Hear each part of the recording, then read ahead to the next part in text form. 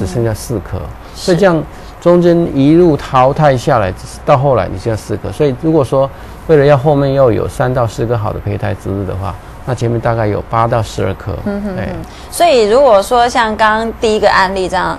子的话，他就算打了很多排卵针，那也只有两三颗的话，哦，那这个效益是真的比较不划算。所以，针对自然试管婴儿，通常就是有几个病，就是说，啊，年纪超过四十岁的啦，或者是他以前做过试管婴儿，打了很多针啊。我有病有个病人，他做了四次，花了将近一百万。那每次我看那个治疗单上面取卵是都是一颗两颗这样算，嗯哼那这样子的话。宁可把这些钱省下来做自然试管。是。那第三个案例就是说，哎，针对第一个的那种情况，我们呃加就是吃这个排卵药。对。那因为排卵药花费不是太高。对。但是你如果吃排卵药，就会冒上一个风险，就是吃排卵药，因为排卵药本身它会让子宫内膜变得薄一点。所以这个时候，同时如果病人要这样尝试，我们通常会开荷尔蒙，让子宫内膜再变厚。那子宫内膜厚、子宫内膜薄，常常是病人非常在意的一点哈。是，那他们也就，因为他们都知道说，子宫内膜如果低于零点八公分是不容易成功。就好像你去睡觉，这个床如果说硬邦邦，你睡下去可能很不舒服，总要铺个软垫。同样道理，子宫内膜也要够那个厚度要足够，胚胎才容易着床。嗯，大概统计是零点八、零点九公分以上。如果说你今天只是胚胎，胚胎那个子宫内膜是零点六、零点七公分。那我建议你把胚胎冷冻起来，下一次再说。嗯等于那个着床率着床率大概很低的，大概零点六、零点七，大概没有人在做只是胚胎的。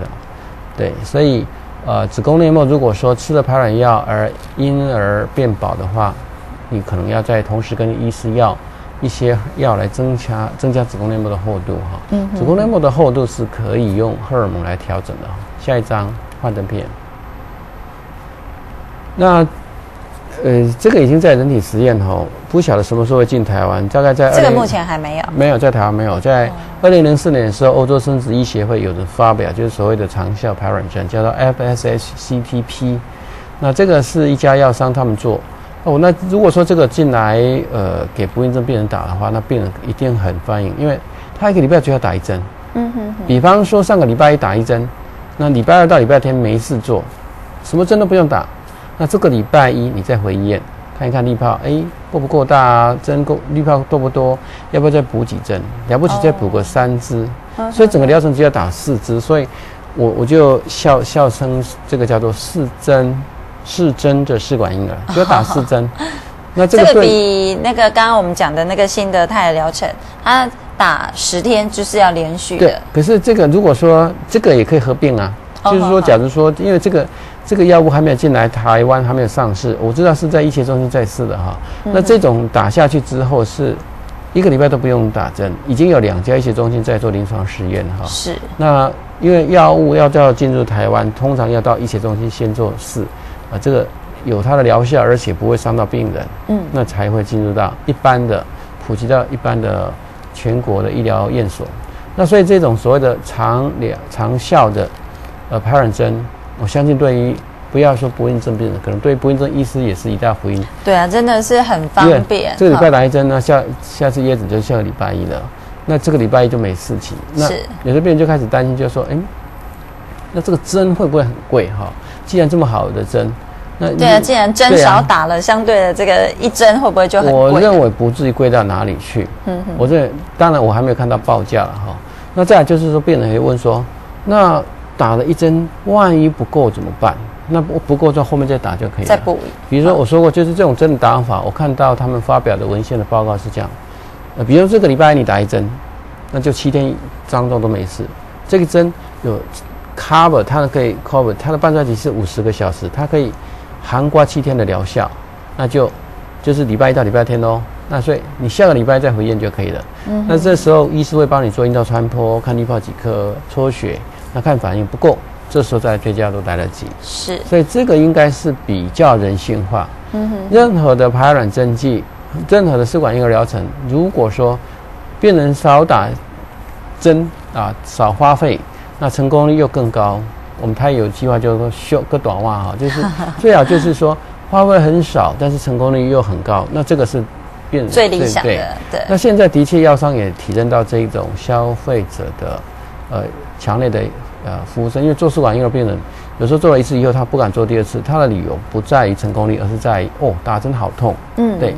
然后如果说要天天打的话，那或许要又要长跑医院。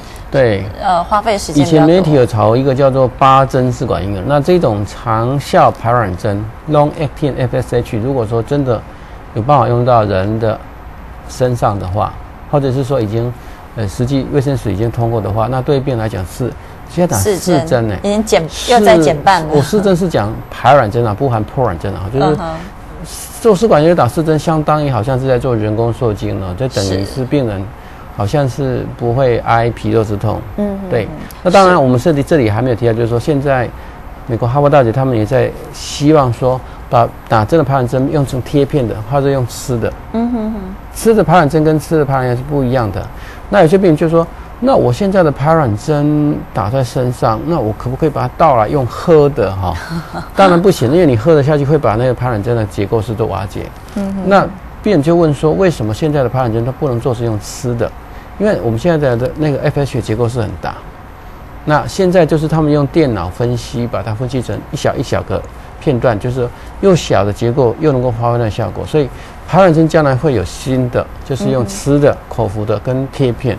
不过现在我渐渐的还是要去符合呃民众的需求，就是说。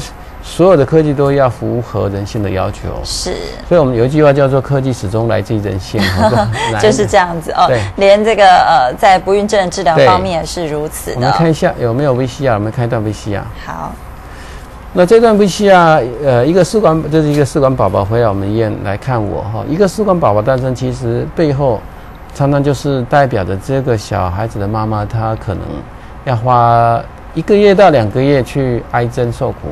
她如果做肠疗程，她可能要打二十天排卵针，呃，包括十一天的排卵针跟十四天的柳培林、柳培林，或者是所谓的脑下垂体抑制剂。那这个是一个非常可爱的小小宝宝。是。那所以说，我们希望在这种孕育这个宝宝的过程，让病人不要受太多的苦。嗯。那最好在还没有纳入健保之前，病人的花费荷包能够。呃，少损失一点，因为是能省就尽量对。最近景气也不是很好，如果说能够帮病人省一块钱，就是一块钱啊。所以，呃，回来医院的时间就是回诊的时间越少次，打排卵针越少次，花费越少，那成功率最好也是相对能够提高，那就当然是。皆大欢喜，对对对。好，OK。那么我们这个阶段呢，先进行到这边，我们休息一下，进一段广告。待会回来之后呢，再继续的来跟蔡师聊一聊这个小儿神的试管婴儿。蔡丰博医师，资历博源妇产科院长，前长庚医院妇产科主治医师，荣登世界名人录，不孕症著作三本，连续四年获颁长庚最佳医师奖。赴瑞士、加拿大发表国际论文。彰化市博源妇产科院长蔡丰国医师，副院长陈昭文医师，专治不孕症。地址在彰化市中正路一段三百九十二号火车站旁。电话零四七二六零六七八。博源用心，使您更安心。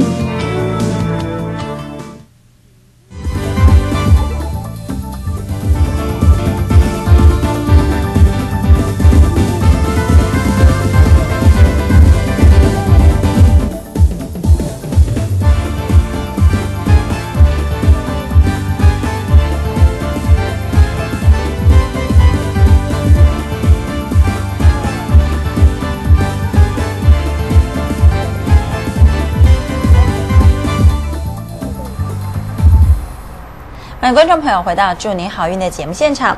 今天我们节目跟大家谈的主题是小儿省试管婴儿。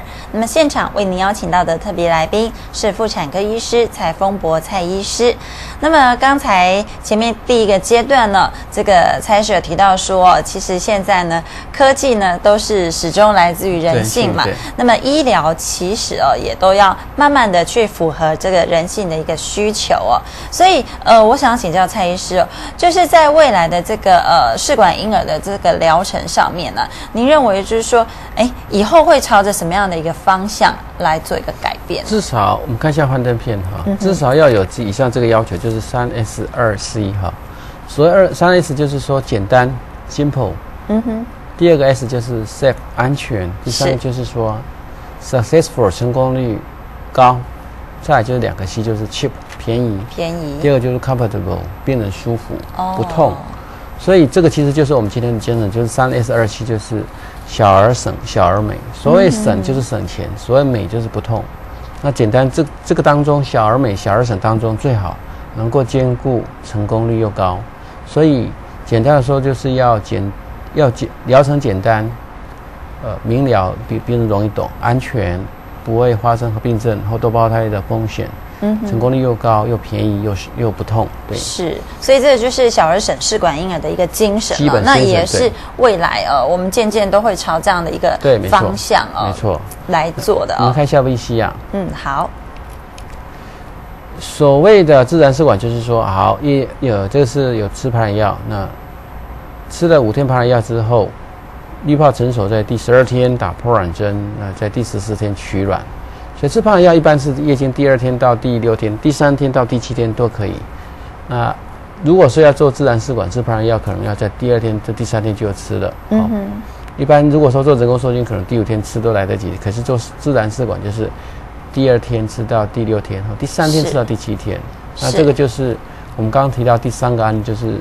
呃，修正过的或者是说改良型的呃自然试管。婴儿，那它等于是十个排卵药取代排卵针，嗯哼，呃也不用打针不痛，也少很多的花费。那当然适用对象是属于曾经做过试管婴儿取卵是不多的或是高龄的，嗯，对，是。那我想请教一下蔡医师啊，可能很多观众朋友哦还是呃搞不太清楚，就是说吃这个排卵药跟打这个排卵针呢，到底？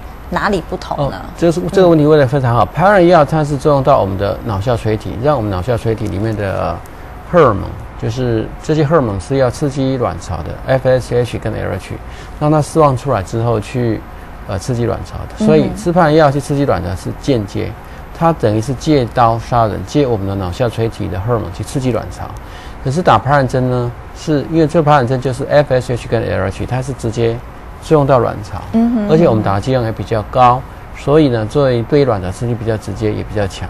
哦，所以排卵针的反应对卵卵巢的刺激一定是远超过排卵药。对，排卵药你不要一起说啊，吃了排卵药滤泡有八颗十颗，这个不太可能。通常是。呃，两颗、三颗这样的，就是说成熟可以取卵。我们再看一下一段 VCR。好，所以这个是排卵针跟排卵药的不同。排卵药哈，就是呃，通常呃有五颗、十颗这样的这种吃法。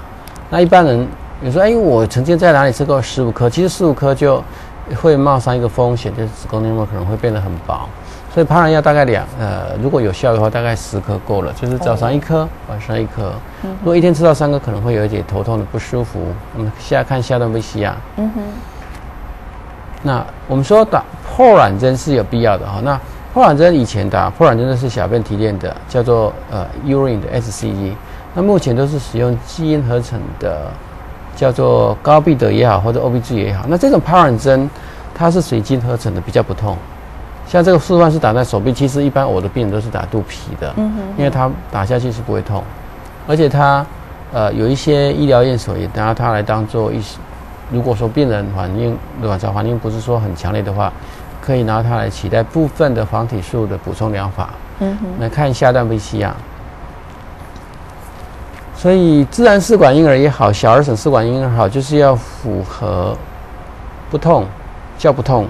不不敢说完全不痛了，是，但是还是打针多多少少都会痛。那还是那取卵的过程是势必要经过的哈，所以不过取卵还好，就是像我们医院有麻醉科专科医师，而且是一些中心来的麻醉科医师来麻醉，所以病人一般来讲是不会因为麻醉在麻醉下取卵是不会痛的哈，所以不用紧张。而且取卵手术的过程是五分钟，很快的。它虽然叫做手术还要进开刀，其实它是一个非常。呃，小的一个手术，看下一个 VCR。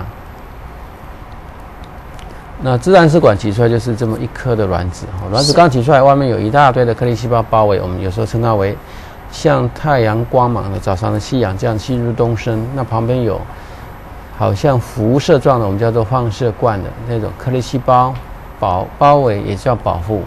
所以我们有时候就自然试管就是。